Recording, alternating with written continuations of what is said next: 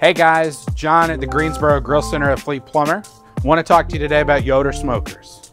A couple of things that you guys have seen new on our floor. I just kind of want to drill down, make sure you know what we're talking about here. This is a YS640 competition. Made in the US, all in Kansas. Has an onboard control module made by Fireboard, which is made in Kansas City. This particular model is on a competition cart in blue. It's available in six different colors and custom paint jobs, so be sure to ask us about that. You got stainless steel shelves on the front, a true slide out shelf that you can actually put some weight on, right? Stainless steel grates and direct access to that firebox.